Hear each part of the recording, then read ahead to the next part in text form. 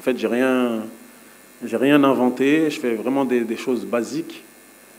Ou comme je l'ai dit, le plus important, c'est vraiment le groupe. C'est vraiment que, tous, les, tous les joueurs de ce groupe se sentent, se sentent importants et, sentent une, une, cohésion et une. Et, le plus important pour nous, le staff, c'est que tous les joueurs se sentent, se sentent vraiment égaux, se sentent vraiment sur le même, sur le même pied d'égalité. À partir du moment où, les joueurs se sentent euh, dans cet état d'esprit-là, c'est beaucoup plus facile pour qu'il y ait une cohésion de groupe. Donc non, non, je ne pense pas être un, quelqu'un de spécial ou un coach spécial.